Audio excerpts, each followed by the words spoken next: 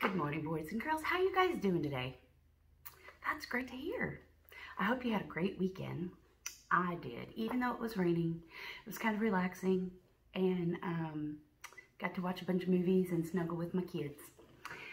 Um, today I'm going to read you a book um, and it's actually one of my favorites. Have you guys seen the movie Finding Nemo? Well, when my oldest boy was little, that was our favorite movie. And we drove in a car across the country from Washington State to Arkansas. And we drove for 11 hours a day for four days. Can you count them with me? One, two, three, four. I memorized virtually every line of the movie. And so for some reason, I have always just loved Finding Nemo. So today I'm going to read you one of his books that I found. I couldn't believe I still had it, but here we go. Um, so what part of the book is this? Front, back. And this is the spine. What's your spine do? Holds you together. Where is your spine? Very good. Okay, so um, this book is Finding Nemo, Just Keep Swimming. What's another name for that? The title. Good job, guys. Can't pull anything over on you. Um, the author does what? He writes the words. And who draws the pictures? The illustrator. Great job. Okay. Nemo has a dream. He wants to join the school swim team.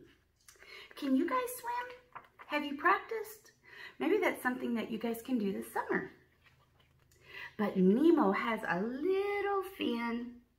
He thinks that he will never win. Should we um, say that we never win or that we'll try to win? We should always try, right? So Dory, she helps Nemo. She teaches him to go, go, go. Nemo races and races. Nemo chases and chases. Just keep swimming, just keep swimming, swimming, swimming. That's what Dory's telling Nemo. But Nemo thinks of other things. I'll never win. I have a bad fin.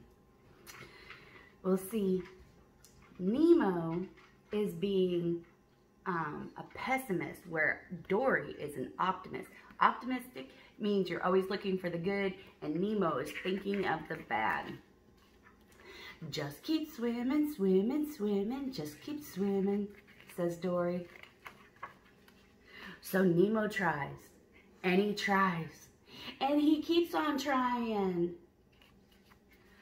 What do you think might happen next if we keep trying? Nemo races and races, and he chases and chases.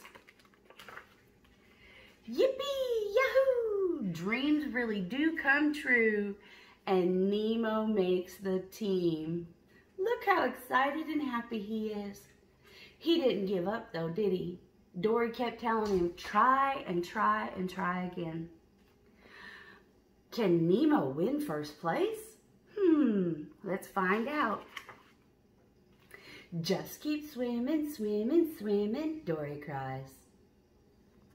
She's encouraging him, meaning she's saying positive things. Go, you can do this. Just keep swimming, swimming.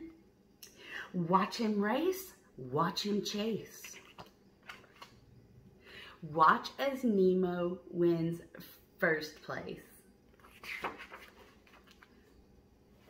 Good job, boys and girls. So what did we learn about this story?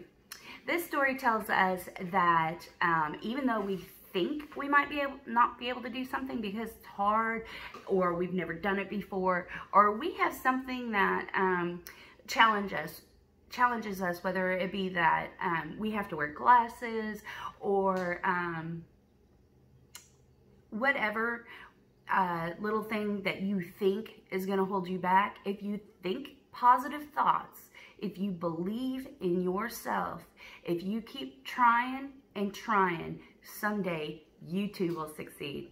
Can't wait to see you tonight at the kindergarten graduation. Bye-bye.